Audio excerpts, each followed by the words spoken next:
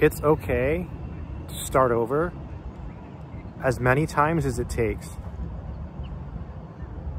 If you have to continually start from scratch because you fail, it's okay.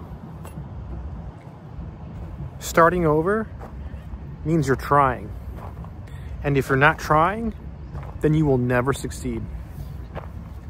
So if you're trying to learn math, if you're trying to become an engineer, maybe you want to get better at programming, or maybe you want to study physics,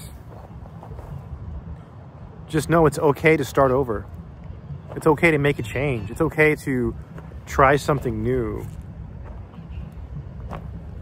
One of the beautiful things about life is that you have this thing, it's called free will.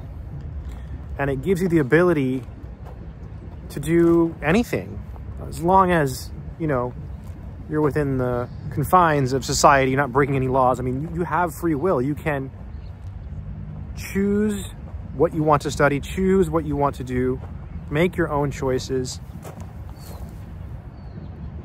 You can always start again, my friends. And I just wanted to make this video for those of you who are struggling because it's okay. It's okay to start over. Stay strong, my friends.